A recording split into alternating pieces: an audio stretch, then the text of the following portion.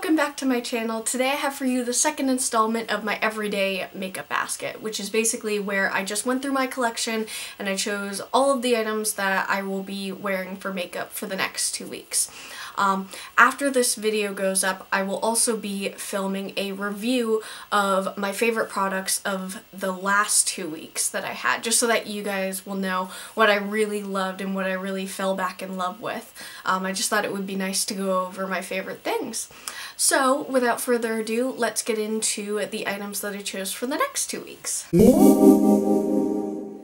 I thought that I would go through the products as I apply them to my face. So the first thing that I do is I put on face primer. And the two primers that I chose, which are pretty much carryovers from last time, are the Spackle Mattifying Oil Control Under Makeup Primer by Laura Geller, which is just a mattifying, like silicone feeling primer that I just put on like my forehead and down my T-zone stuff and this stuff is really nice. And then the other one for if I need any smoothing like if I have any dry patches I will use the Smashbox Photo Finish Primer.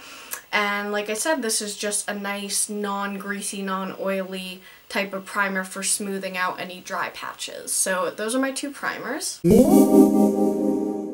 So for foundations these next two weeks, I actually have two options. The first one is mixing my Garnier BB cream and my Revlon Color Stay. These are in my Project Pan, my 12 Pans of Christmas project. Um, and basically this is a little bit darker, not as much coverage, and this has like a medium coverage, but it's lighter, so the two of them together is perfect. And this is what I was using for the past two weeks. But I also have another option. I got a sample of the Amazonian Clay Full Cover Foundation in the mail the other day, and so this, I'm wearing that today actually. And so far I like it. It's got a decent amount of coverage obviously. It's a full coverage foundation so it means I don't need a lot. So this could be lasting me pretty well into December if I continue to use it at the rate that it's at. But um, yeah, it's a pretty good skin match and I'll keep you guys updated as to how I feel about this. Next in my routine, I will go on to under eye concealing, and I actually have a new product for the next two weeks, and this is the Super Stay Better Skin Concealer from Maybelline. I haven't used this yet, but I bought it a couple weeks back, and I have yet to try it.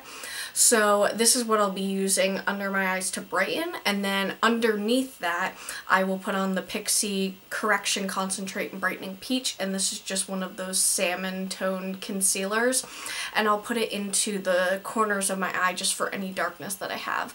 And I was using the NYX HD concealer and I really liked how that went over this so I'm hoping that I like the combination of these two. And then I only have two under eye setting powders which are my NYX HD uh, concealer in Banana and then my Tarte Smooth Operator powder and this is just a loose uh, translucent powder and I just use these depending on what type of finish I want. This has more of a like natural finish and this is a little bit more brightening, but I use both of these, you know, probably every other day, and that's what I'll be using.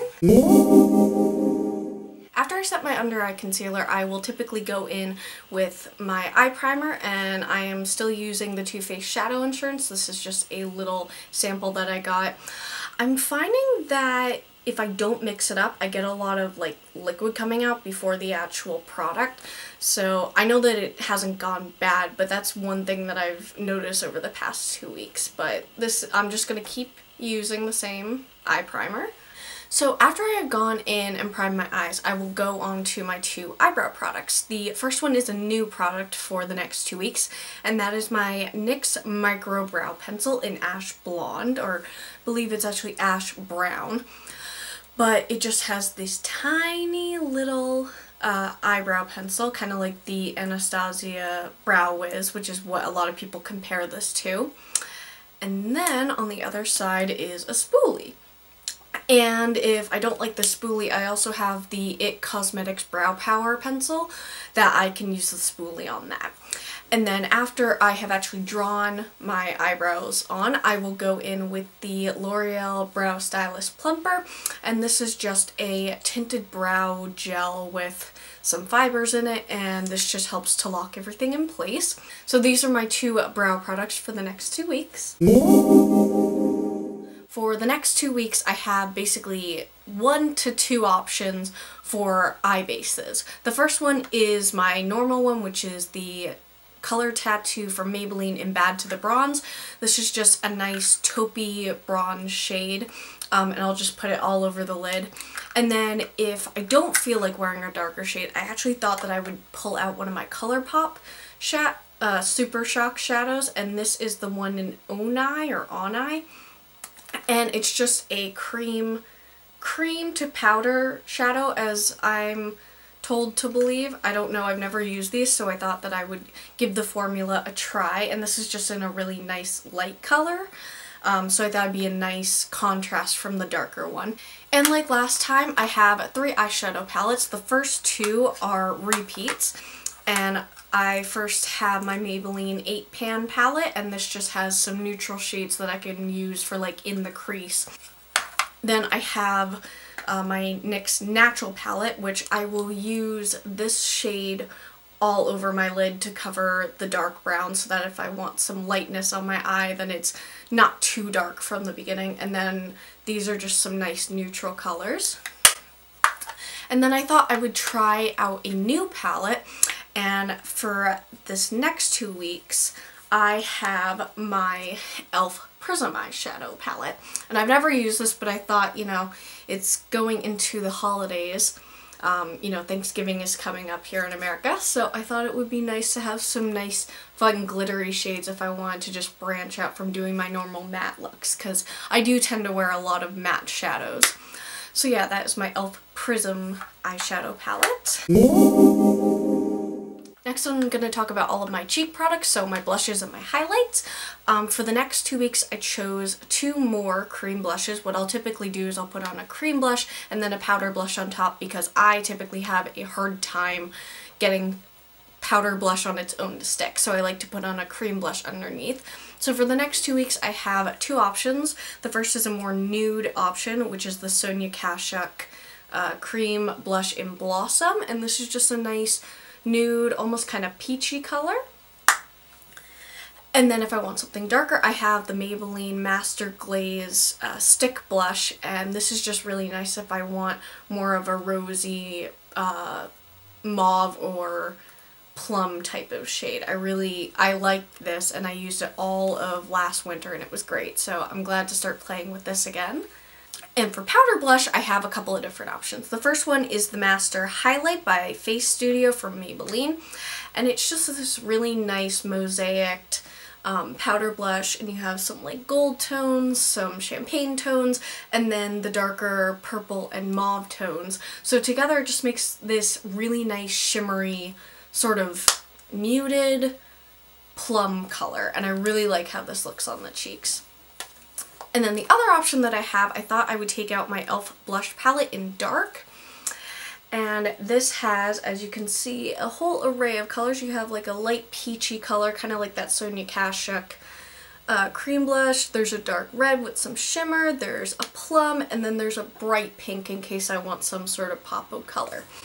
So I haven't used this yet and I really wanted to give it a shot so I thought I would take it out for the next two weeks. And for highlight I have three different options. The first one is the base that I put on before the powder highlight and that is my Benefit Watt's Up uh, sample highlighter and this I will just take and put along the tops of my cheekbones just so that the powder highlight has something to stick to.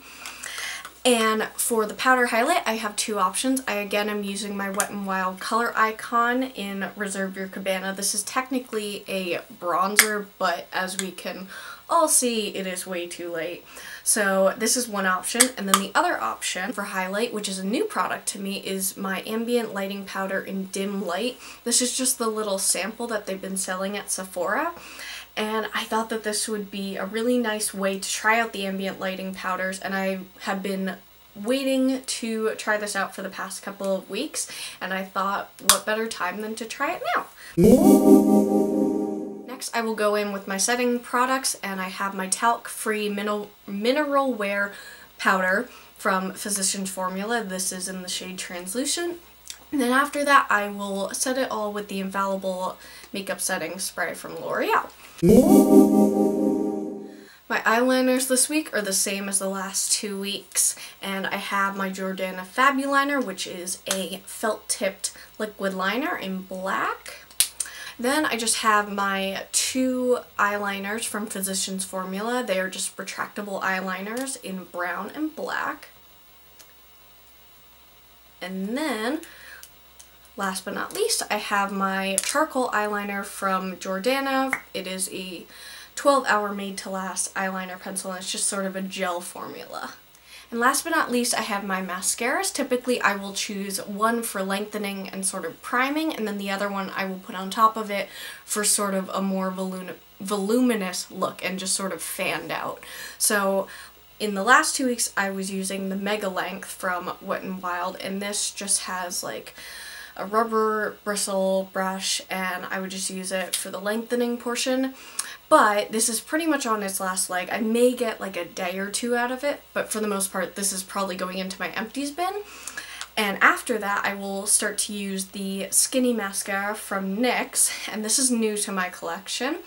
And basically it's just this tiny little wand, and I've heard it's a really good dupe for the IT Cosmetics Tight Line mascara, and so I really like the brushes that are really tiny that will just lengthen and will just sort of do that tight lining effect. So I'm really excited to try this out. And then for the fanning out effect that I like so much, I will be using the Falsies Volume Express. Um, this was what I was using for the last two weeks. I've really been enjoying it. And it just basically has this sort of curved brush um, and it just kind of nicely hugs the lashes and kind of gives them this fanned out effect or this flared effect as the name would suggest.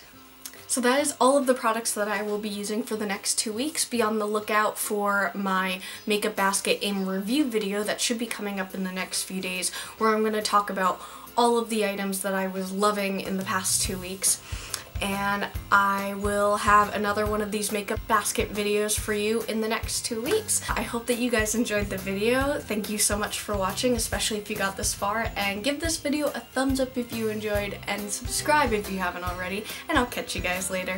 Bye!